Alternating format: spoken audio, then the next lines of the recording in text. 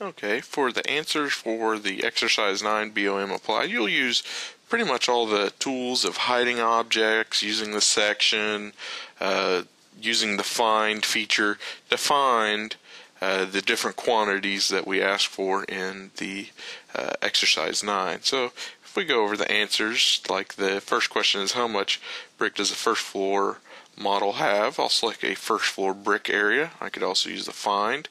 But if I select one brick wall, we see that we have 1,334 square feet of brick on the first floor. If I selected the second floor brick, we can see that we have 1,037 square feet of brick on the second floor. Now another question is how many 8 foot 8 and 5 8 inch studs do we have on the first floor? Well, I want to make sure to drill down to just my structural members. I'm going to minimize all these objects and right mouse click on the structural member uh, model. Hide everything else but my structural member so I can just see my sticks. I can pick out one of these sticks and I see that I have 222 uh, 8 foot 8 and five, uh, 8 foot 8 and a half inch studs on my first floor another question is what kind of header is above the garage door I can select one of these headers and I see that I have a uh, three and a half by eleven and a quarter LVL over my first floor garage. And another question is what kind of header is above the door between the master bedroom and the master bath? So we might need to look at our original set of construction documents just to make sure that we know where the uh, room that we're talking about. So the header above the master bedroom and master bath. So, okay, here's my second floor. I have a master bedroom and I have a master bath. I have a door in between it and it has a header. And so if I want to navigate my model, well, it's kind of hard to see through all these sticks. So what I'll do is I'll go to my tools. I can use this XZ section and I can move that up. Probably beneath my frame and can now I can see that I have two uh, what are these? Two two by sixes of a header at that door there.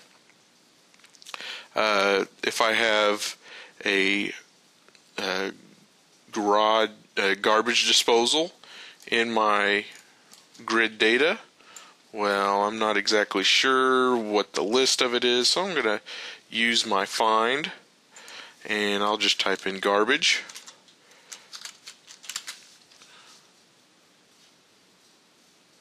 And I found a garbage disposal. And if I select that, I see, I see that I have a garbage disposal.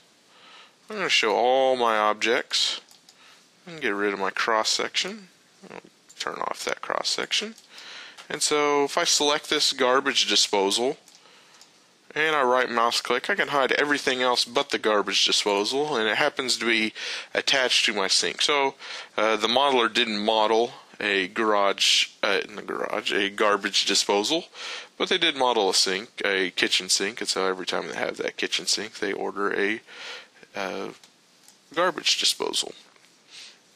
The last uh, number seven in the exercise is find the location of the 2468 uh, single left-hand swinging door on the first floor. So what I'll do is I'll uh, turn off. Mm, let me scroll up here. Let me turn on everything. Show all objects.